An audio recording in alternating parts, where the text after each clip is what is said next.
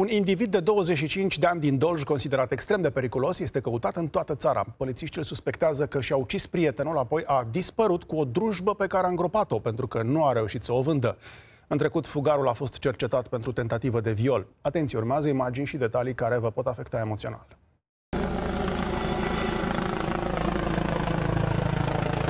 Zeci de polițiști și jandarmi îl caută pe fugar, inclusiv cu elicopterul. Au fost organizate filtre în mai multe zone.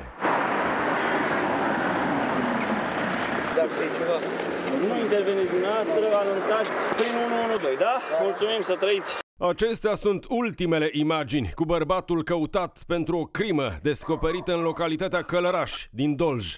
Polițiștii spun că are afecțiuni psihice și poate fi extrem de periculos. De două zile, de o zi, o noapte căutăm pe câmpuri, dar sunt canalele de desecări pline de vegetație și inclusiv o dronă am ridicat. Suspectul este bănuit că și-a ucis un prieten în vârstă de 57 de ani. Au băut împreună de Crăciun, apoi s-au luat la ceartă și l-ar fi omorât. După crimă, agresorul a luat bicicleta și drujba celui ucis și a dispărut. În casa victimei a mai fost prezent un bărbat, dar anchetatorii nu au stabilit dacă acesta a fost martor la crimă sau a plecat mai devreme. El a declarat că s-a întors acasă la cel ucis, fără să știe ce s-a întâmplat, și l-a găsit plin de sânge. L-a găsit jos, întins așa și pusă prafuma pe el. A zis că o dormi când a dat băiatul mort. Ăla care a intrat seara, că a ieșit și ne-a spus că e tăia cu toporul. Prietenului de pahar. Da. Inițial, suspectul a încercat să vândă drujba ca să facă rost de bani, dar nu a găsit cui, așa că a îngropat-o.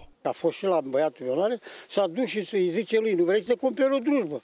Băi, ce eu nu cumpăr, bă, că am drujbă nouă, uite, doar am luat. Dar ce, văd că are sânge pe ea, ce are?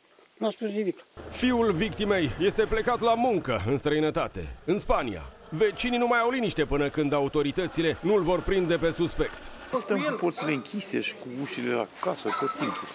Asta e, nu poți să știi ce se întâmplă în lumea asta. Individul a fost dat în urmărire națională și în consemn la frontieră. După dispariția sa, poliția română l-a dat pe Stoina Ștefăniță în urmărire generală și consemn la frontieră.